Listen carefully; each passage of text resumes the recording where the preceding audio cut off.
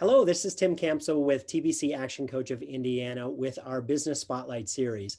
The purpose is to interview local business owners and promote them through our social channels and email database, as well as provide them coaching. This is a free service we're doing because if every small business is strong, then the economy is strong. Today, I have the pleasure of talking with Voss. Welcome, Voss. It's great to have you on the program today. Thank you so much, Tim, for having me today. Well, let's start with having you introduce yourself and tell us a little bit about your story. Of course. So my name is Vasanthan Ramakrishnan, but most people here call me Vas. So I'm just short for Vas. Um, I'm the founder and president of VasX Labs. Um, so VasX Labs is an R&D organization focused on nonprofit research and nonprofit projects that aim to impact humanity in one way or the other. So the lab is pretty much just focused very much on um, either one aspect of human life needs to be improved. So we kind of keep the focus on the impact. And since I have a, an extensive engineering background, so I have a master's degree from Purdue. So keeping my engineering background and the impact, so we are able to bring in um, impact projects and just be able to like you know, make improvements to human life.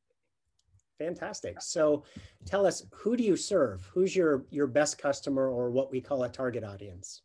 Okay, so my target audience would just be businesses. So VasX Lab is a B2B company, meaning we serve other companies. So some of the projects we did earlier were all consulting projects for other engineering companies. And then we kind of slowly moved on to in-house research where we looked at potential areas where we can research. So one of the instances might be artificial intelligence you know, artificial intelligence is an area that's very popular and it's gone to impact almost every single industry, you know? So those kind of things are some of the things that we work on. So we have uh, consulting projects and in-house R&D projects. Got it. So if I was to ask you to give us your 60 second commercial for your business, what would you say? Okay, so my 60 second, 60 second commercial would again just be focused on the impact. Um, I my company is very much focused on the impact that we would create.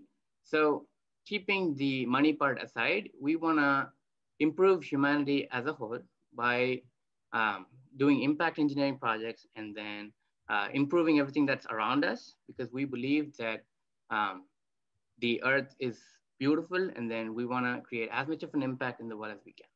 Fantastic. Awesome. Thank you. So um, tell us what's been the greatest impact that COVID has had on your business over the past year. Okay, so I personally am a very friendly person. I was someone who would go out all day, uh, meeting people, you know, meeting clients, and it was a very outdoor business, let's say, you know, with consulting, of course, because I, I involves a lot of travel. But when COVID hit, it was um, everything really changed actually because we were working out of the university mm-hmm. um, when I, which I graduated, so I basically just took a space in the university's lab and I was operating out of, uh, you know, just college students and interns, which we, uh, you know, we kind of were working with. But then when COVID hit, the university closed and students were no more available for us to work with. And some of the interns that we had at that time were also not, um, you know, some of them got COVID, some of them had family issues, financial issues and all of that. And it, it did a huge dent. And for almost about three to four months, I think I was the only one in the lab working on all the projects. And of course, our clients had a lot of requirements and even uh, nothing would stop because of COVID. So I was literally running around, I think one person just trying to handle everything. It was really hard. But um, eventually, though, once I started picking up how COVID was going to affect my business, I started taking everything online and I started talking to people online and then I started hiring online through LinkedIn. LinkedIn was a blessing. Um, and then I think it got a little better, I think, you know, with a lot of people being able to reach out to a lot of people online and having the team working, even though it's a smaller team than what we used to have before, it kind of worked out. That's great, Vas. It's great to hear that you were able to, to pivot and, and implement some changes in your business and uh, to allow you to continue to move forward. Mm-hmm. So tell me, here's an interesting question. Mm-hmm. It's been said that smart people learn from their mistakes and wise people learn from the mistakes of others. So what mistakes have you made along the way that you'd be willing to share so that other entrepreneurs can learn from your experience? Okay. So one of the biggest mistakes that I did was actually jumping into things without thinking a lot about what other consequences that may have.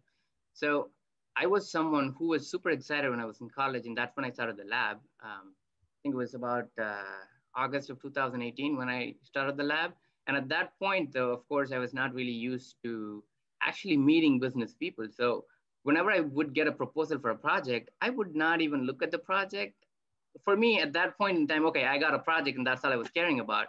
So I would just jump right in without considering a lot of things that needed to be considered.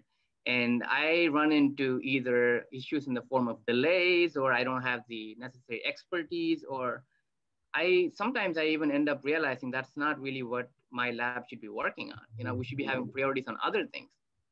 So I think my biggest takeaway from that is even though something might seem like the best thing for you to do, I think you should think it through, think it from every perspective that you can think of, and then make sure that that's something that you want to be doing. So um, keeping it aligned with your mission and goal, I think that's the most important thing that I had missed in the uh, past, but something that I really want to focus on.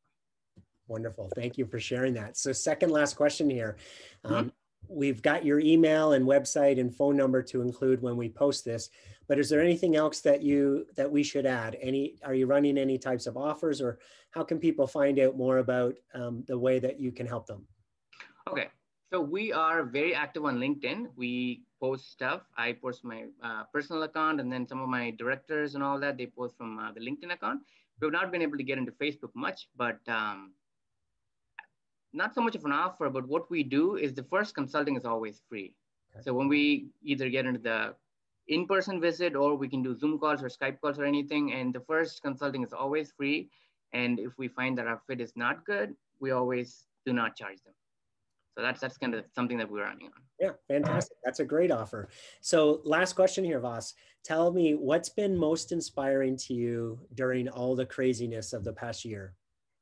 Okay, so some of the most inspiring things I would say is people's behavior kind of changing to COVID and how that change kind of uh, evolved, I think, because when first COVID hit, everybody was just clueless. Nobody was knowing what to do.